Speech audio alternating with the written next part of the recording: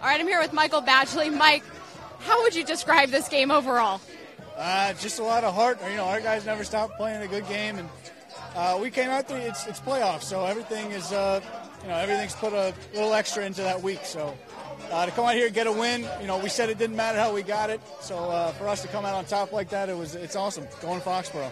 I asked you a couple weeks ago when you made the game-winning kick in Pittsburgh if you dream of moments like this. Do you dream of games like this at all?